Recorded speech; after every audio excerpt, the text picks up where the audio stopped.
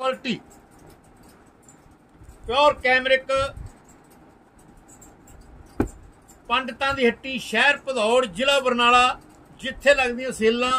ਸੇਲਾਂ ਲਾ ਕੇ ਬਜਾਜੀ ਵੇਚਦੇ ਆ ਬਹੁਤ ਹੀ ਸ਼ਾਨਦਾਰ ਕੱਪੜਾ ਘੱਟ ਰੇਟਾਂ ਦੇ ਵੇਚਿਆ ਜਾਂਦਾ ਹੈ 700 ਰੁਪਏ ਦੇ ਦੋ ਸੂਟ, ਸੋਹਣੇ ਸੋਹਣੇ ਸੂਟ।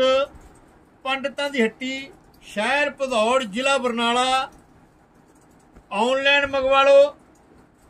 ਆਰਡਰ ਕਰਕੇ ਮੰਗਵਾ ਲਓ ਤੇ ਚਾਹੇ ਪੰਡਤਾਂ ਦੀ ਹੱਟੀ ਤੇ ਆ ਕੇ ਖਰੀਦਦਾਰੀ ਕਰੋ ਜੀ 700 ਰੁਪਏ ਦੇ ਮਿਲਣਗੇ ਦੋ।